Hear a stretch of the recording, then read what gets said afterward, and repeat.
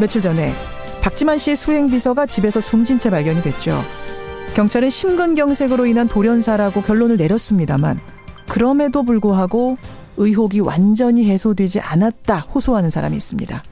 바로 박근령 씨의 남편 공화당 신동욱 총재인데요. 박근혜 대통령 오촌 조카 두 명을 비롯해서 내 사건과 연관된 사람들의 죽음에는 항상 뭔가 석연치 않은 게 있다. 이런 주장입니다. 도대체 이게 무슨 얘기인지 신동욱 총재 잠시 후에 직접 만나보죠. 수요일에 코너 라디오 재판 정도 준비가 돼 있습니다. 여러분 차를 타고 가다가 휴대폰으로 영상 통화를 하던 중에 사고가 났습니다. 그럼 이게 과연 휴대전화 제조사의 책임을 물을 수 있을까요?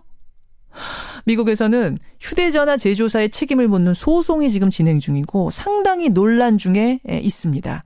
이걸 우리 쪽으로 적용을 시켜보죠. 우리 재판정에 올려보겠습니다. 50원에 담은 100원의 장문 유료 문자 샵 1212 가톡 레인보우까지 열어놓고 출발합니다. 예, 박근혜 대통령의 동생 박지만 회장의 수행 비서가 지난 30일에 돌연 숨졌습니다. 성이 주 씨입니다. 주모 씨라고 해두죠. 경찰은요, 주모 씨가 심근경색으로 급사한 거다. 이렇게 발표를 했습니다만 의혹은 잦아들지 않고 있습니다. 그도 그럴 것이 주모 씨는 박근년 씨의 남편이죠. 신동욱 총재와 박지만 씨 사이 재판의 증언자였습니다. 이 재판의 증인 박 대통령의 오촌 조카 두 명에 이어서 이 비서 주모 씨까지 숨지자 수상하다는 얘기가 나올 수밖에 없는 거죠. 자, 이 사건의 당사자죠. 신동욱 공화당 총재 직접 연결해 보겠습니다.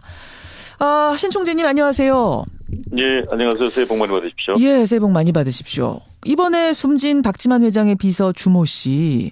지금 경찰청장은 의혹 가질 만한 사안이 아니다. 아, 부검해봤는데 심근경색이다. 이렇게 얘기를 했거든요. 국가수에서 발표한 내용이니까 일단은 믿어야 되겠지요. 예. 그렇게 믿고 있고요. 하지만은 저와 관계된 사건 속의 등장인물들이 음. 무려 4년 동안에 여섯 분이 이 세상을 떠났다는 겁니다. 여섯 분이라면은 누구누구 여섯 분이 되죠? 2011년도에는 박영철, 박영수. 이분들이 이제 박근혜 대통령의 오촌 조카 두 명. 네, 그렇죠. 또 2012년도에는 이춘상 보좌관. 음흠. 그리고 그 박영철 씨의 오른팔이었던 일명 짱구파 보스 항선웅 씨가 라면을 먹다가 천식으로 사망을 하죠. 그리고 정윤혜 씨와 아주 가깝게 지냈던 또 한 분이 계십니다. 아하. 거기다가 이번에 박지만 씨의 수행 비서까지. 네, 그렇죠. 그렇다면은 4년 동안에 여섯 분이 세상을 떠난다. 과연 확률적으로 몇 퍼센트일까요? 자, 그럼 여기서 지금 이제 이 사건의 자초지종을 모르시는 분들은 도대체 무슨 사건이 2007년에 벌어졌길래 이렇게 줄줄이 그 사건과 연루된 사람들이 숨졌다라고 주장을 하시는가 궁금해 하실 거예요. 2007년에 그 사건이 뭡니까? 어, 2007년도에 4월 중순경으로 전 기억을 하는데. 예. 유경재단에 제가 감사실장으로 그 재직하던 때였습니다. 예, 예. 아침 9시경에 박용철 씨와 짱구파 황선홍 음. 그 일행 한 10여 명이 재단에 들어왔어요. 어, 저에게 막 폭행을 가하기 시작했습니다. 왜요? 왜? 뭐라고 하면서? 어, 그 박용철 씨가 했던 얘기는 저를 보고 사기꾼이라는 표현을 썼어요. 음, 그리고 경찰들이 들어왔고, 음. 어, 그래서 저는 회의 중이니까 돌아가셔도 좋습니다 라고 해서 어, 경찰들은 돌려보냈고, 예. 그러자 박용철 씨가 굉장히 많이 힘들어 했어요. 왜요? 아니, 어떻게 경찰을 돌려보낼 수가 있습니까? 어. 저를 폭행죄로 고소를 하셔야죠. 라고 제얘기 되물었죠. 어, 왜 나를 고소하지 않느냐? 어, 근데 아마 뭔가 오해가 있는 것 같아서 일어난 사건인 것 같으니, 예. 굳이 그렇게 할 필요가 없는 것 같습니다. 라고 얘기하니까, 음. 자기가 받은 정보하고 다르다는 겁니다. 예. 그러면 그 정보를 누구로부터 받았느냐라고 얘기하니까, 예. 박지만 회장이 비서실장으로부터 저에 대한 정보를 받았다는 것. 그게 첫 만남이었고 첫 인연이었어요. 아니 그러면 왜 박지만 회장이 신동욱 총재를 모함하려고 했을까요? 박, 박지만 회장이 사주를 받았다는 게 아닙니다. 예. 박지만 회장이 비서실장이라는 사람이 아, 중요한 겁니다. 비서실장. 예. 그 한 분의 증언자로부터 증언을 확보했는데요. 예. 정용희 씨와 최순실 전 남편 정윤혜 씨는 예. 호영호재하는 사이로 저희들은 알고 있습니다. 그래서 실질적으로 이 집의 박지만 회장의 비서실장 명함은 가지고 있지만은 예. 삼성동 사람이다라는 것까지 저희들이 증언을 확보했습니다. 삼성동이라면은 박근혜 대통령을 말하는 거네요. 그렇죠. 그러니까 정윤의 최순실의 음. 사람이라는 거죠. 아니 그럼 정윤의 최순실의 사람이 박지만 회장과 신동욱 총재 사이를 이간질하려고 한 게 바로 그 폭력 사건이다. 전 그렇게 지금도 이해하고 있고 그렇게 알고 있습니다. 왜 왜 둘 사이를 갈라놓으려고 하는 거죠? 왜 최순실이? 그렇죠. 1990년에 박지만 회장과 제 아내가 노태우 대통령께 탄원서를 보냈지 않습니까? 그렇죠. 우리 언니를 최씨 일가로부터 최태민으로부터 구해달라 이런 단원서. 그렇죠. 예. 그런데 그 무렵에는 이제 박지만 회장과 삼성동 쪽이 가깝게 이렇게 관계를 가지고 있던 때라고 저는 알고 있습니다. 예 예. 저희와의 관계가 원만해지면 곤란한 거죠. 그렇기 때문에 박 회장과 저는 대립 관계를 만들어 놔야 된다고 저는 본 겁니다. 그막 남매들 사이를 이간질 시켜놔야 된다라고 최순실 정윤회는 판단했을 것이다. 그렇게 보는 겁니다. 그렇게 해서 이제 있다가 5월 중순에 한 달 후에 다시 저에게 전화가 온 겁니다. 누가요? 박용철 씨로부터. 박용철 씨, 아, 그 폭력을 행사했던 박용철 씨로부터. 그리고 전화가 와서 하는 얘기가 예.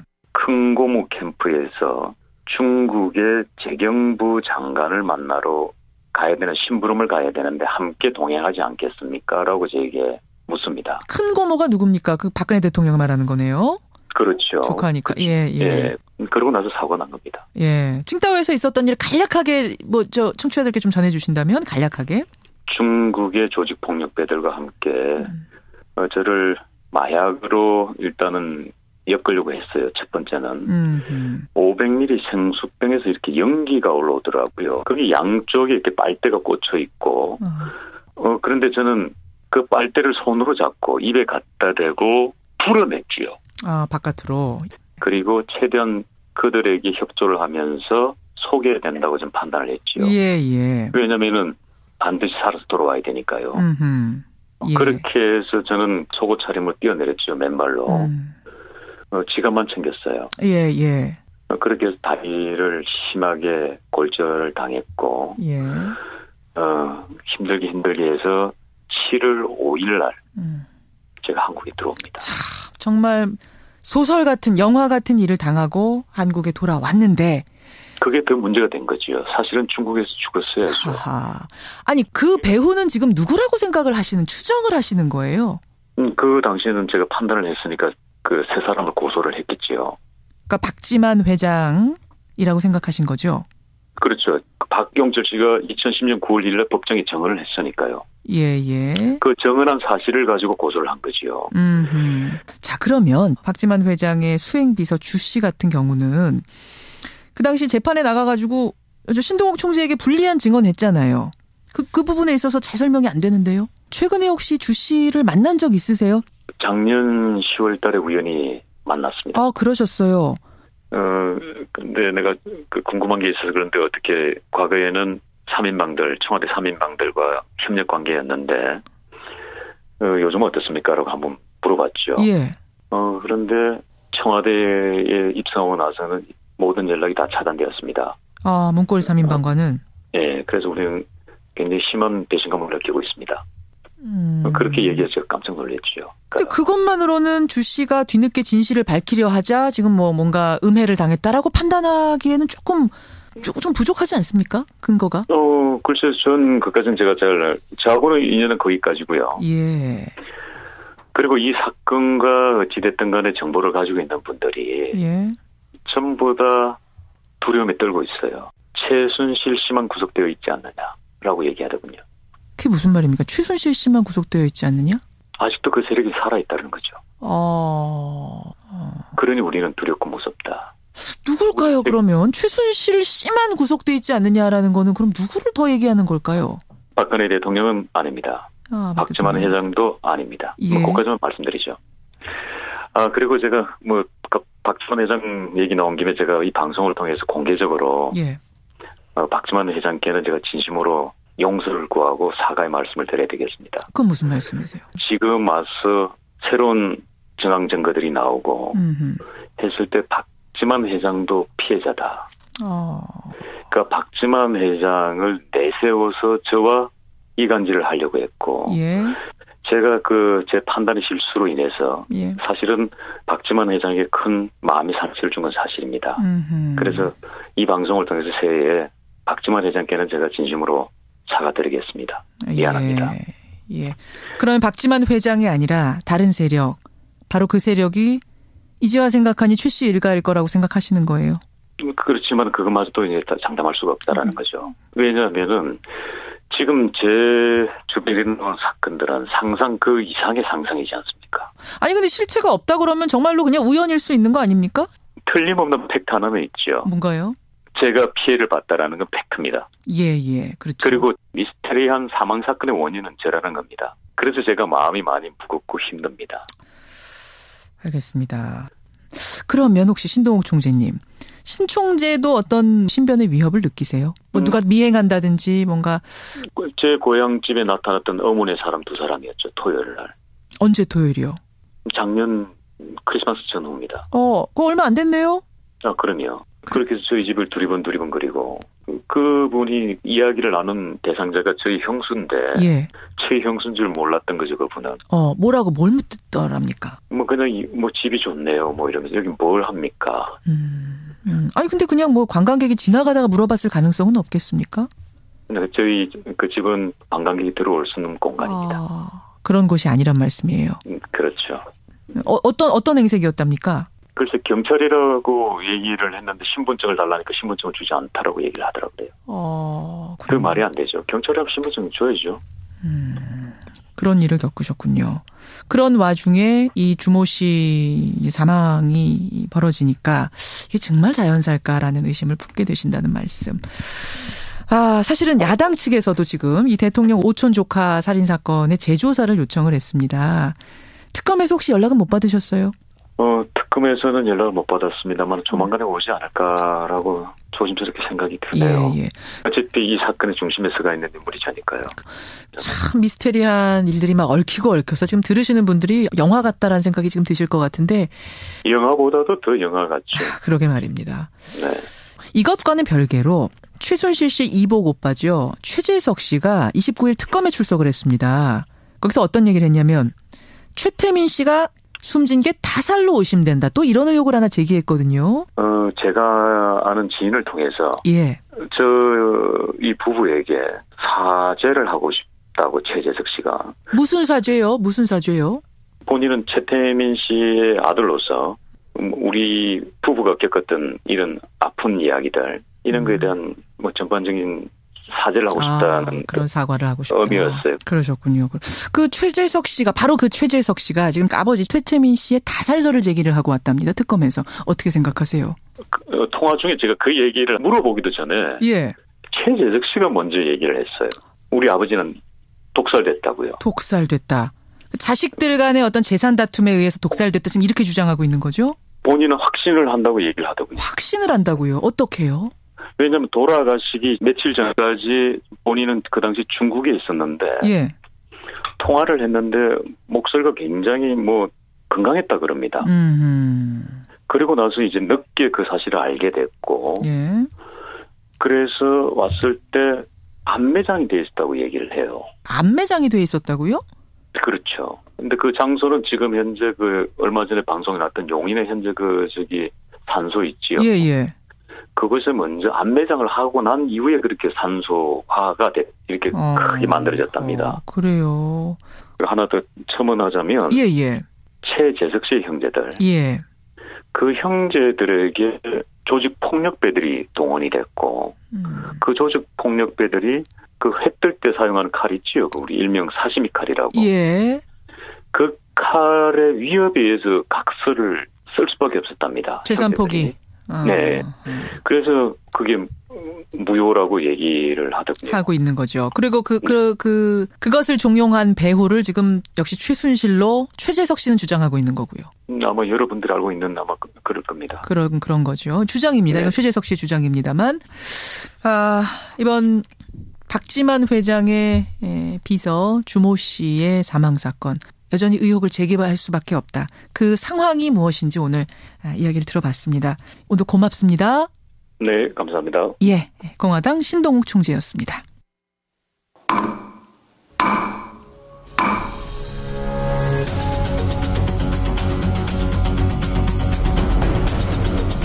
뉴스쇼가 수요일에 마련하는 코너입니다. 라디오 재판정.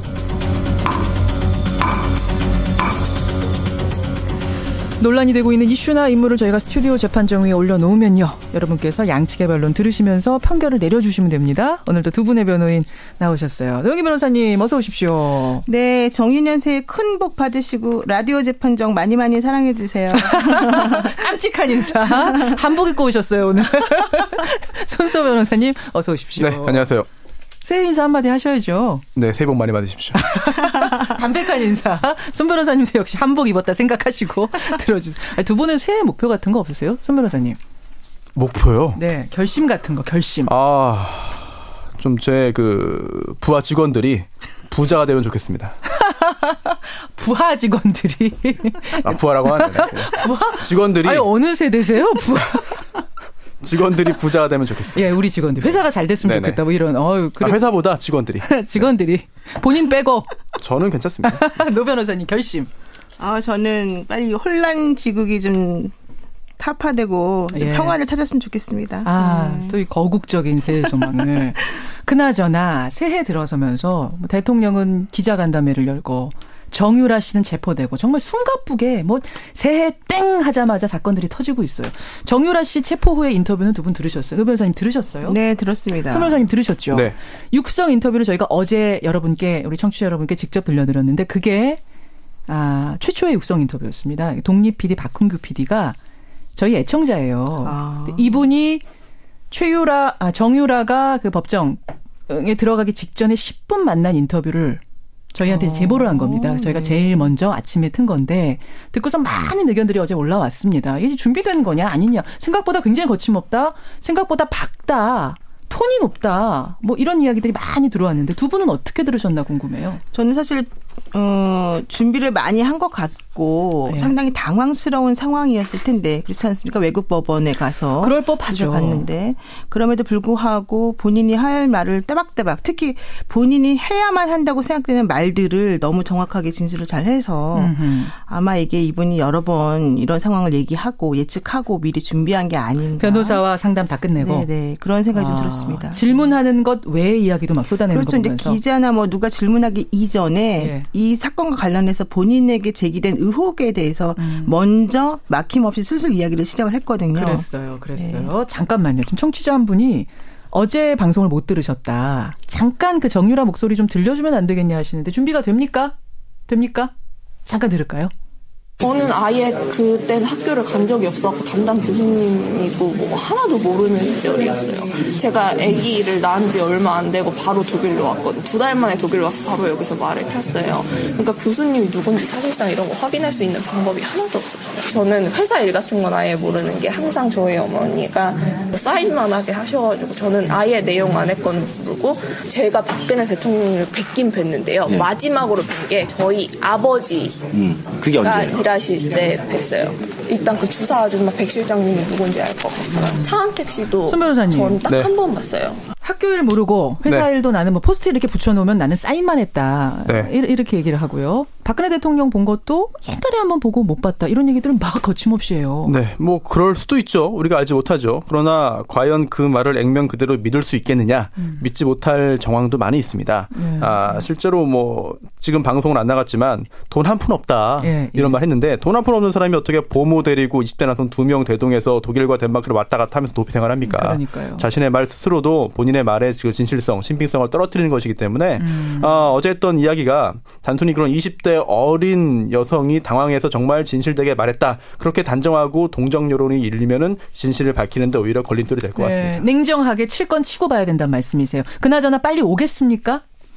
올 가능성이 조금 있죠. 왜냐하면 정유라 씨 입장에서도 덴마크에서 그 정부를 상대로 해서 인신보호 요청 같은 것들에 대해서 이의를 제기하는 것이 예. 사실은 편하지 않아요. 왜냐하면 그러려면 본인이 덴마크 법원에 구금된 상태에서 계속 소송을 해야 되기 때문에. 아, 소송하는 동안 계속 구금돼 있어야 네, 되니까. 그게 아마 1년 정도 걸릴 가능성이 있는데 그렇게 되면 본인도 아이하고 떨어져서 외국에서 계속 있어야 된다는 얘기거든요. 19개월 된 아기가 있는데 떨어져서 구금돼야 되는 그 상태가 네, 엄마 네. 입장에선 상당히 부담스러울 네, 거다. 차라리 그러느니 오히려 한국에 들어와서 예. 본인을 잘 알고 있는 지인들이 있는 상황에서 아기가 편하게 있는 것을 확인한 친척들한테 상태에서. 구속이 되더라도 아. 그게 맞고요. 또 본인에 대한 혐의가 사실 생각보다 크지 않다라고 하는 것도 법조계의 시각이 있습니다. 그래서 예, 그런 걸 예. 고려해 본다면 오히려 들어와서 수사에 협조하고 예. 정리할 건 정리하고 이런 식으로 차라리 하는 것이 낫다고 생각할 가능성도 있어요. 정유라 씨가 언젠가는 우리나라에 들어올 테고 음. 또 그, 그 후에 그 단죄를 받겠죠.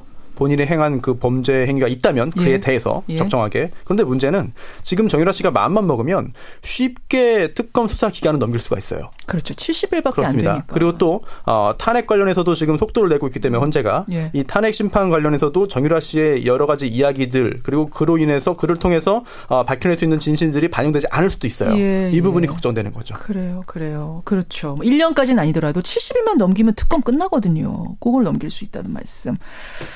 예, 아, 오늘 재판정 본격적으로 좀 들어가 보겠습니다. 오늘 재판정 주제는요. 이런 무거운 이야기, 전국 이야기하고는 조금 다른 전혀 상관없는 얘기지만 우리 생활 속에서 한 번쯤은 생각해 봄직한 그런 내용입니다. 주제부터 외치죠. 운전 중에 휴대폰 영상 통화를 하다가 사고가 났습니다. 교통사고가. 이 경우 과연 휴대폰 제조사에게 책임을 물을 수 있느냐 없느냐. 영상 통화로 인한 사고를 휴대폰 제조사에 책임을 물을 수 있느냐 없느냐. 바로 이겁니다. 아니 송 변호사님, 네. 이게 진짜로 일어난 소송이에요? 아, 우리나라 사례는 아니고요. 예. 네, 미국에서 실제로 있었던 사건이고 정말로 소송까지 진행이 됐습니다. 그래요? 네, 2년 전인데요. 교통사고로 다섯 살 소녀가 안타깝게도 이제 그 숨졌습니다. 예, 예. 아, 그런데 이 교통사고였어요. 음. 뒤에서 차가 들이받아서 사망했습니다. 그런데 알고 보니 이 가해 차량, 뒤에서 들이받은 차량의 운전자가 운전 중에 아, 이제 그 휴대전화 무료 영상 통화 음. FaceTime이라고 하는데요. 예, 예. 이걸 통해서 영상 통화를 하면서 운전하다가 어. 결국 사고를 낸 거거든요. 그래서 어, 어. 앞에 차에 어, 앞에 차를 들이받았고 앞에 차에 타고 있던 다섯 살 소녀가 사망했습니다. 예. 그러자 앞에 차에 있었던 그 아, 사망한 소녀의 부모가 음. 어, 뒤에 차에 가해 운전자는 물론이고요. 가해 운전자가 사용했던 그런 그 전화기를 만든 회사 예. 상대로도 소송을 제기한 사건. 그 이유는 그러면 달리는 중에는 정지돼, 그러니까 뭐- 뭐라고 해야 되나, 작동 못하게 해야 되는데 그걸 왜 하지 않았느냐? 휴대폰 제조사에도 책임이 있다, 뭐 이런 거예요?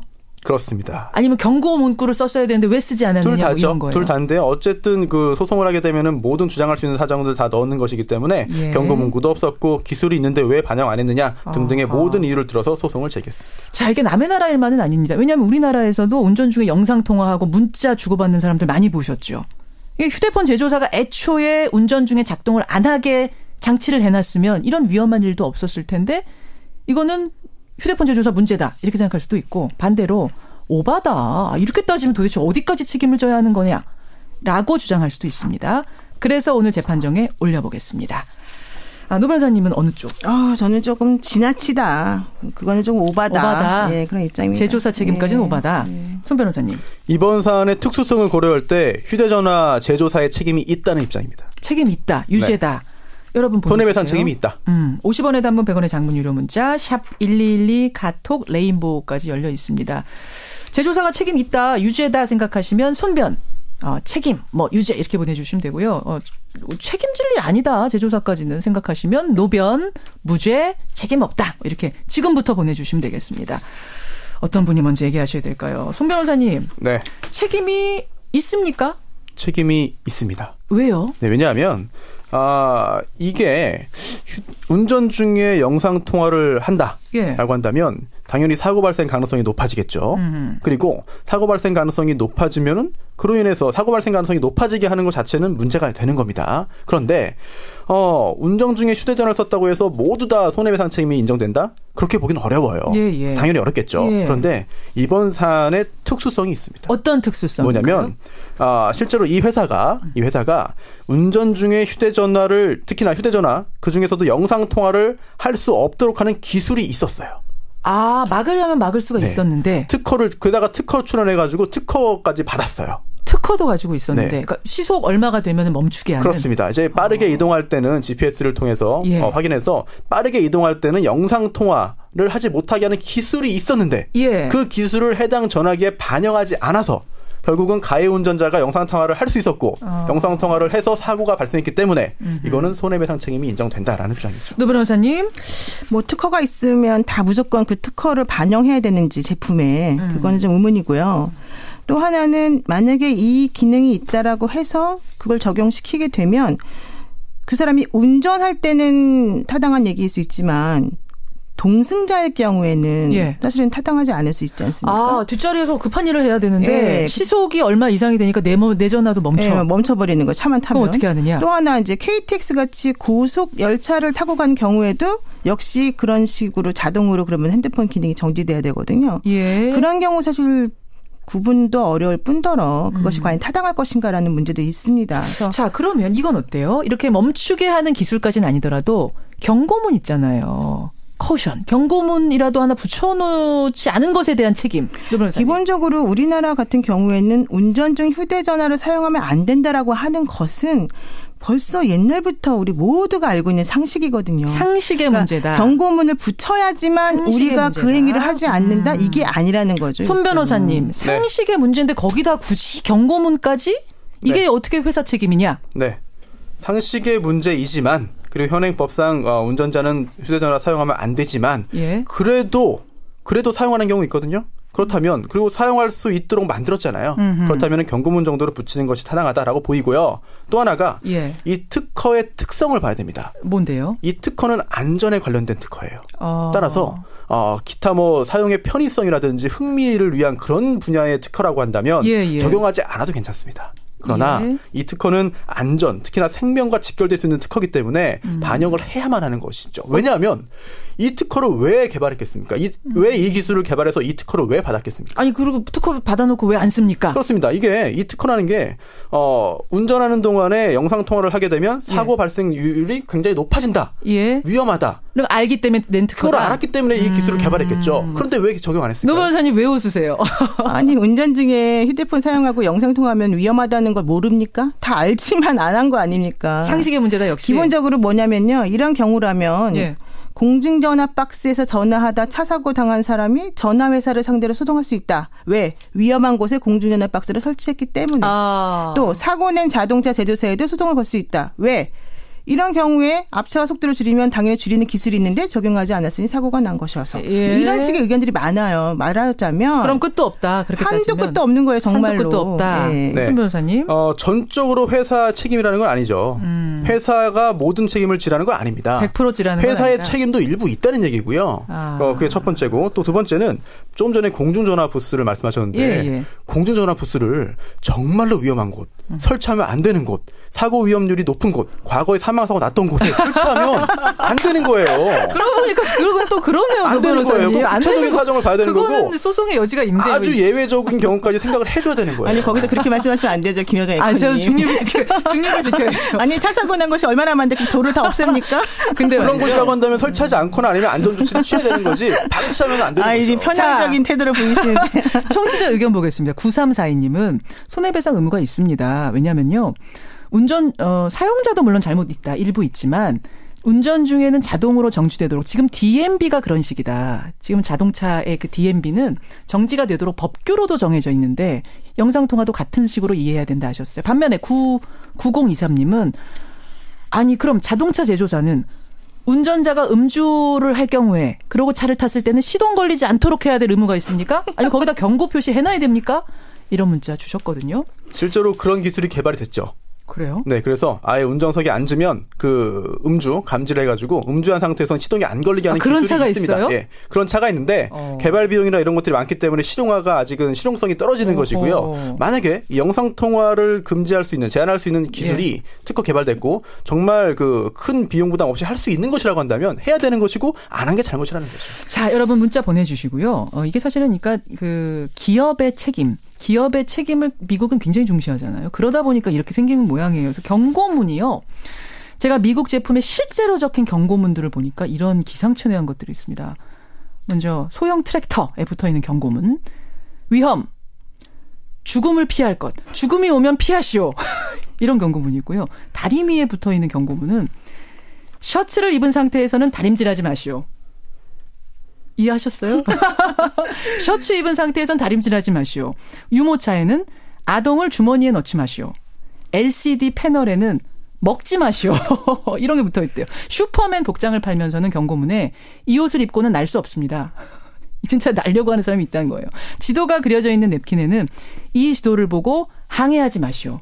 이렇게 붙어 있을 정도로 미국은 경고문이 상식적이라고 생각하는 것에도 붙어 있다는 얘기거든요, 노영희 변호사님. 그래요. 뭐 사실 경고문을 붙이는 것 자체가 나쁜 게 아니고 당연히 붙일 수 있으면 붙였으면 좋았겠죠. 그러나 모든 것을 다 예측해서 미리미리 다 경고문을 다 붙여야 되는 그런 상황은 아닌 것 같고 음. 특히 이제 이 사건이 일어났던 텍사스 주 같은 경우에는 예.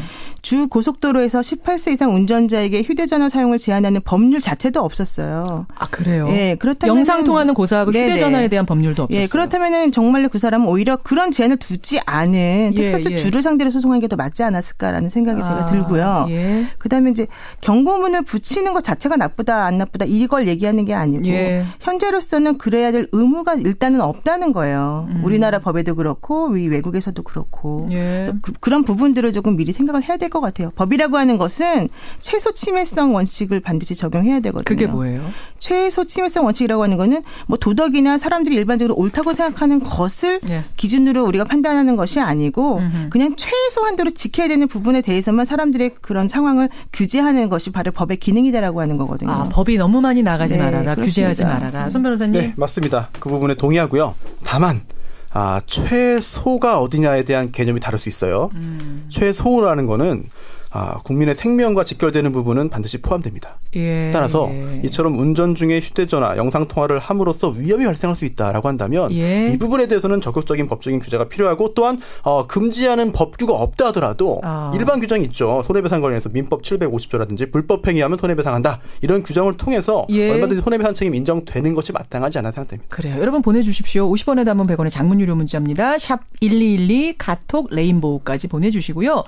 이번 이 이, 이 재판정 주제에 대한 것 말고도 여러분 어, 나는 이렇게 했으면 좋겠다. 좀 규제했으면 좋겠다. 움직일 때는 휴대 영상 통화 못 하도록 했으면 좋겠다. 바람이 있으면 보내 주시고 아니다 싶으면 또 아니다는 의견도 보내 주세요. 손 변호사님. 네, 기업의 책임을 한번 생각할 필요가 있을 것 같아요. 어. 예, 기업이 새로운 기술을 개발하는 거 인류의 네. 뭐 번영이나 행복을 위해서 당연히 필요하고 권장돼야죠. 그렇죠. 그런데 결국 기업은 그를 통해서 그러한 행위를 통해서 결국은 어, 이익을 추구합니다. 예. 이익을 얻습니다. 예. 그렇다면은 그러한 그 기업의 이익을 얻는 것에 어, 어 따라서 음흠. 기업의 책임도 인정돼야 됩니다. 어. 그렇다면 이 기업의 책임이 뭐냐? 일단 그러한 기술을 활용하는 사람들, 이용하는 사람들에 대해서 안전을 지켜줘야 되거든요. 예. 그렇다면은 예. 전적인 책임을 기업에게 주자는 게 아니라 아하. 기업도 책임이 있다는 점을 알려주자. 그런 알겠습니다. 내용이죠. 자, 재판정 문을 좀 닫아보겠습니다.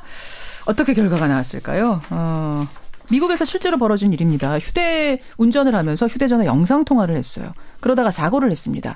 이 경우에는 이 휴대전화 제조사, 경고문이나 특허 기술을 쓰지 않은 휴대전화 제조사에게도 일부 책임이 있는가 없는가 여기에 대한 우리 청취자 비심원들의 선택은 66대 34, 66%대 34%로 책임 없다. 노변의 손을 들어주셨습니다. 아, 이렇게 나왔네요, 손 변호사님. 네, 항상 힘겨운 배틀을 거쳐서 네. 힘겨운 배틀을 거쳐 노 변호사님. 어 저는 오늘 조금 진행에 불만이 많습니다. 네. 발언 시간이 너무 적습니다. 아 발언 제가 말을 할 수 있는 시간이 거의 없었는데요. 그러네요, 그러네요. 예 어쨌든 앞으로 조심해 주시겠죠? 저요, 저요. 네, 농담입니다. 어쨌든 감사합니다. 예 여러분 그 휴대전화는요 영상 통화든 음성 통화든 운전 중엔 하시면 안 돼요. 그렇습니다. 이거는 이게 뭐, 뭐 제조사의 책임이 있고 없고 문제가 아니라 상당히 위험하다는 거 반드시 기억해 주시고요. 오늘 그런 의미에서 재판정에서 한번 다뤄봤습니다. 두 분 건강하시고요. 새해 복 많이 받으십시오. 네, 고맙습니다. 네, 다음 주에 뵙겠습니다. 재판정이었습니다. 음향 뉴스 현장. 치킨집이 울상입니다. 주류 인플루엔자가 유행하면서 닭고기 공급이 우선 불안하고요. 게다가 식용유 물량이 갑자기 딸리면서 어려움이 하나 더 생긴 겁니다. 이중고에 시달리는 치킨집 함께 나가보시죠.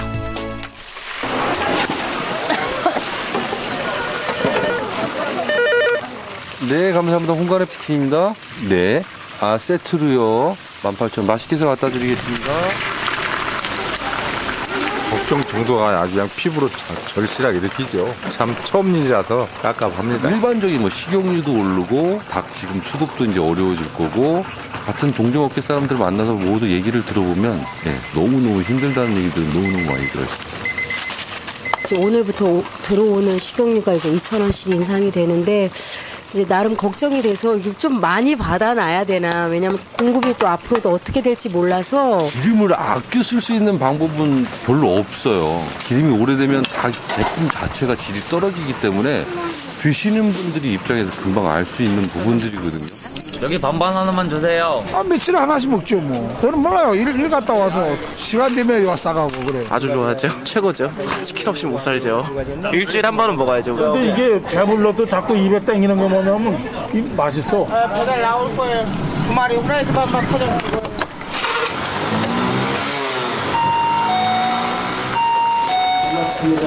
참 힘들죠. 금방에 인근에 닭집이 한 11개 있었는데 이 작은 골목 안에도 한 5개 정도가 문을 닫고 주인이 바뀌고 이런, 이랬던 것 같아요. 치킨이라는 게 서민 먹거리인데 일반적인 뭐 식용유도 오르고 그다음에 모든 닭 지금 수급도 이제 어려워질 거고 저희뿐만 아니라 소비자들한테도 이제 피해가 계속 다른 부분들이 있어서 그게 좀 안타깝죠. 그 다른 근심도 많은데 결한 닭 때문에도 이렇게 걱정이 많으시는 거 보니까 참 깝깝합니다. 좀 잘좀 풀려서 좀 모든 국민이 잘 살았으면 좋겠습니다. 치킨 하면 대표적인 국민 간식거리인데 달걀 대란에 치킨 대란에 식용유 대란까지 참 이 영세한 치킨 상인들 얼마나 힘이 들까요? 또 서민들은 들썩이는 바구니 물가에 얼마나 한숨 쉬어야만 하는 겁니까? 식용유 물량까지 달리는 치킨집 음향 뉴스 현장이었습니다.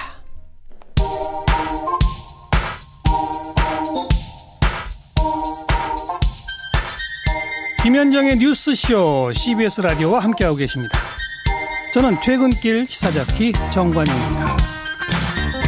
청취자 최용근님, 그래서 그 휴대폰 소송 미국에선 어떻게 판결이 났습니까? 하셨는데 판결 아직 안 났습니다. 예, 지금 소송이 한참 진행 중이라고 합니다. 여기는 미국입니다. 그래서 어떻게 결론이 날지 아무도 몰라요. 예, 미국에서는 정말 기업의 책임이라는 걸 거의 무한 책임으로 보죠. 여러분 스타벅스 소송 기억하시죠? 어, 그리고 맥도널드 소송도 기억하실 거예요. 그 맥도날드에서 왜 차량을 타고 주문하는 이런 서비스가 있지 않습니까? 차량에서 커피를 주문했는데 커피를 받고 차량을 움직일 때 커피가 쏟아진 겁니다. 화상을 당했어요. 그러자 맥도날드에 소송을 했습니다. 너무 뜨거운 커피 온도 때문에 내가 화상당했다. 이런 소송까지 나오는 곳이 미국이기 때문에 이 결론도 어떻게 나올지 모르겠습니다. 아, 3933님, 영상통화 중엔 차량 못 움직이게 했으면 좋겠다. 바램을 보내주셨고요. 1357님, 상식이라고 해도 적어도 경고 문구 정도는 좀 있었으면 좋겠다. 이런 문자들 들어오고 있고요. 어, 반면에 상식이라는 게 있죠. 상식선이라는 게 있죠. 어떻게 이런 것까지 다 합니까? 그러면은 김현정의 뉴스쇼 듣고 가다 차 사고 나면 김현정 씨가 책임져야 됩니까? 아까 누가 보내셨죠? 한 분이 이런 거 주셨던데, 이렇게 생각하자라는 의견까지 어떻게 생각하세요? 신동욱 총재와 인터뷰 들으시고는 김진웅님, 우연이라도 반복되면 그게 필연입니다. 3130님, 김재환님, 4222님 등은, 아, 듣다 보니까 무슨 영화 같습니다. 무섭습니다. 5949, 9296, 4972님도 철저한 수사를 해서 도대체 뭐가 진실인지 밝혀지기를 바란다. 이런 문자. 이 박근혜 대통령 오촌 조카 살인 사건 같은 경우에는 지금 야당에서 어, 재수사를 하자. 이런 요청을 이미 공개적으로 한 상태지요. 어떻게 되는지 좀 지켜보고요.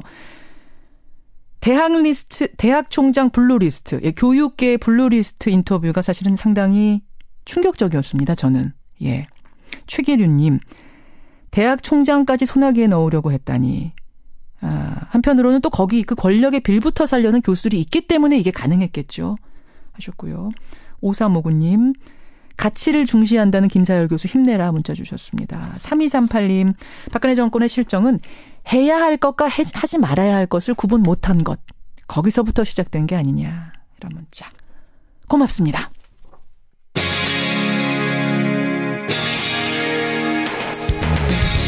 여러분께서는 지금 CBS 라디오 김현정의 뉴스쇼를 함께하고 계십니다. 내일이면 절기상 가장 춥다는 소한입니다. 그런데요, 오늘 서울은 한낮의 기온이 9도까지 오르는 포근한 날씨.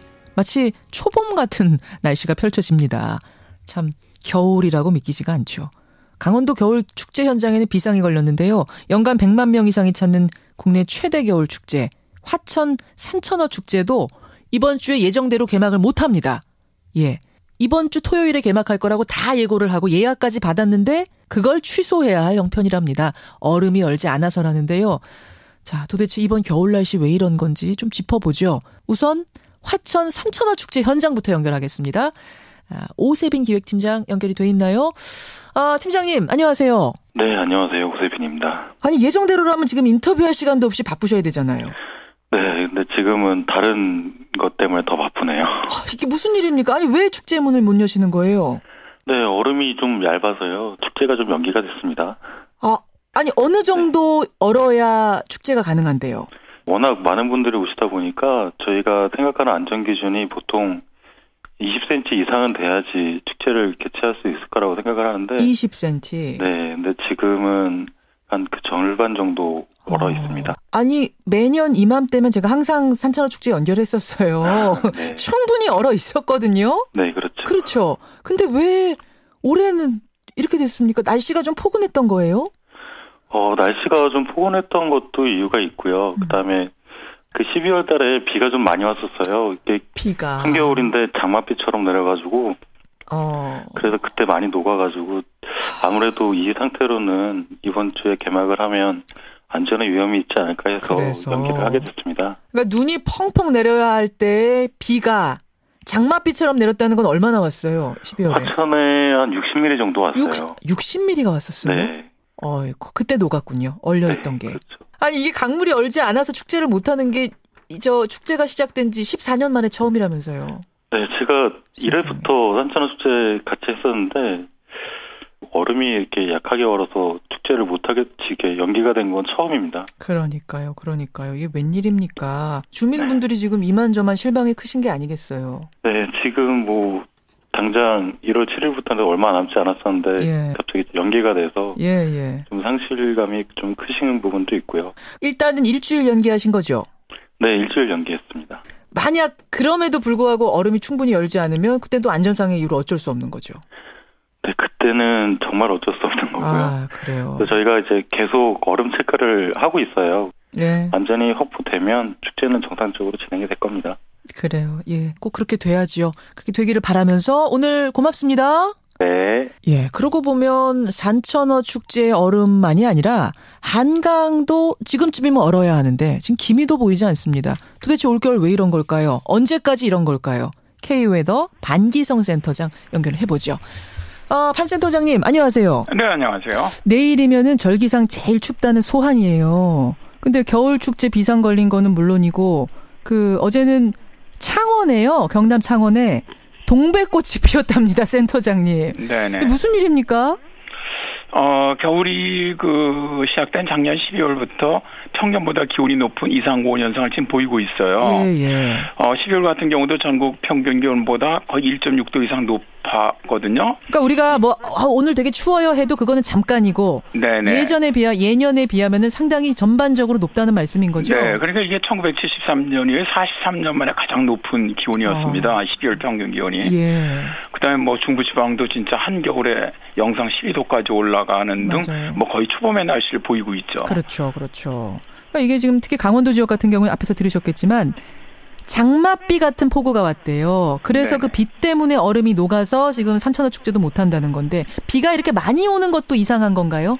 어, 그렇죠. 음. 뭐 겨울에는 실제로 어 눈이 내려야 되죠. 겨울에는. 예, 그렇죠. 그런데 어 10월 21일부터 22 이틀 동안에 그 강원도 지역으로는 거의 한 60에서 많이 온 거 80mm 사이에 비가 내렸어요. 맞아요. 네, 그러면 그러니까 뭐 비가 내린다는 건 영상 기온이라는 것이고 음. 일단 비가 오게 되면은 기존에 뭐 눈이라든가 얼음은 다 녹게 돼 있는 것이고 그렇죠. 이제 그런 것들이 많은 영향을 줬다고 봐야 되겠죠. 비도 뭐 거의 43년 만에 12월 비로는 가장 많이 비가 내렸거든요. 예, 예. 전국적으로도 그러니까 뭐 거의 이상 기후라고 이상해요. 보시면 됩니다. 참 이상한 겨울입니다, 여러분. 네네. 근데 저는 신기한 게 올겨울 시작하기 전에 어떤 얘기들이 있었냐면 올겨울이 유독 추울 거다. 혹독하게 추울 거다. 뭐 패딩들 잘 팔릴 거다. 이런 얘기를 뉴스로 봤거든요.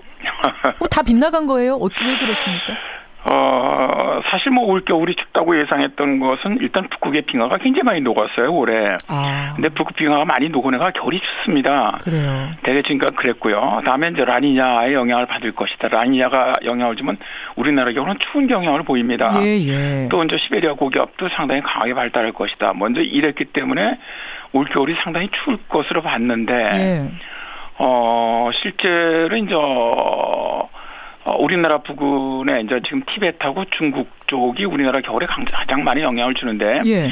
이쪽에 상층으로 그 기압능이라 그래요. 고기압 세력이 그러니까 따뜻한 고기압 세력이 자리 잡고 있거든요. 음, 그러다 보면은 이 북쪽에 있는 한기가 내려오질 못합니다. 우리나라 쪽으로. 걔가 막고 있는 거군요. 따뜻한 네네. 고기압이. 그러다 보니까 어, 전혀 예상할 수 없는 기압 배치가 만들어지면서 예. 어떻게 보면 좀 올겨울에 이상 난동이죠. 이상 고온현상.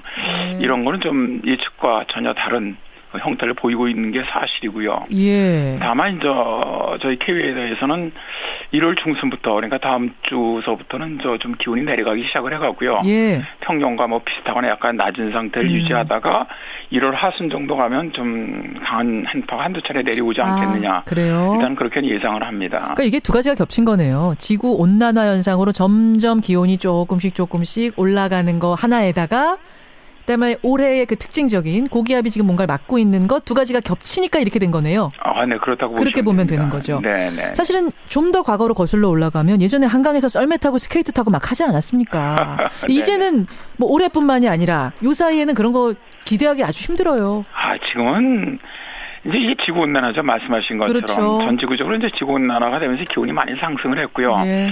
그러다 보니까 뭐 저희 어릴 때도 말씀하신 것처럼 뭐 강이나 하천은 다 얼었거든요. 다 얼었죠. 꽁꽁 그러니까 얼었죠. 뭐 진짜 그때는 스케이트도 거기서 다 탔고 썰매도 예. 타고 막 그랬는데 예. 지금은 이제 뭐 한강이 얼긴 옵니다. 이제 매년. 예, 얼긴 얼어. 작년 같은 경우는 이제 평년보다 좀 늦었죠. 음흠. 올, 올 1월에는. 그렇죠. 그래도 21일 정도에 한강이 얼었었고 재작년에 이제 초겨울이 추웠기 때문에 3일 정도에 이제 얼었었는데 예.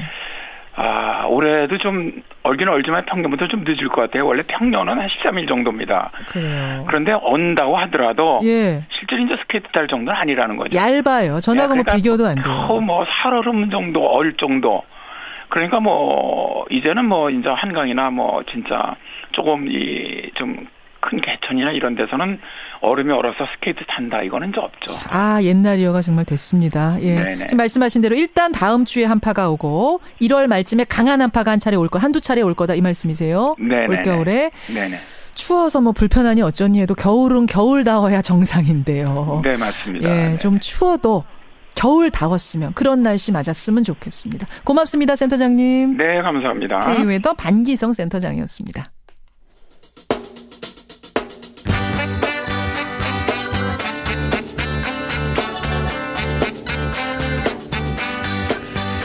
새누리당 임명진 비대위원장 탈당할 사람들 알아서 나가라 압박을 계속하고 있습니다. 그런가 하면 안희정 충남지사는요 손학규 전 민주당 대표에게 정계 은퇴하시라 공개적으로 요구하고 나섰습니다.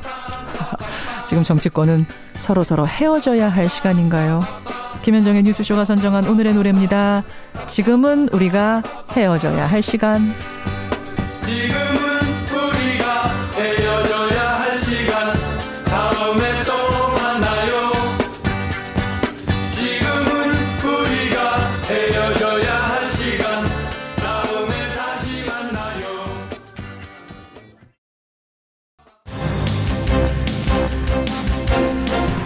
예, 다시 만나려고 돌아오는 사람 반기문 전 유엔 사무총장 소식도 들어와 있는 아침이죠. 아, 반기문 총장이 오는 12일 오후에 인천공항을 통해서 귀국한다고 입장을 밝혔습니다. 오는 12일, 그러니까 1월 12일 오후에 한 5시 반쯤에 예, 귀국한다라는 입장을 밝혔습니다. 하지만 귀국 후에 어떤 행보를 보일 것인지에 대해서는 아직 예, 입장을 보류한 상태. 이 소식까지 전하면서 저는 인사드리죠. 내일 아침 7시 반에 여기서 다시 모이겠습니다. 고맙습니다.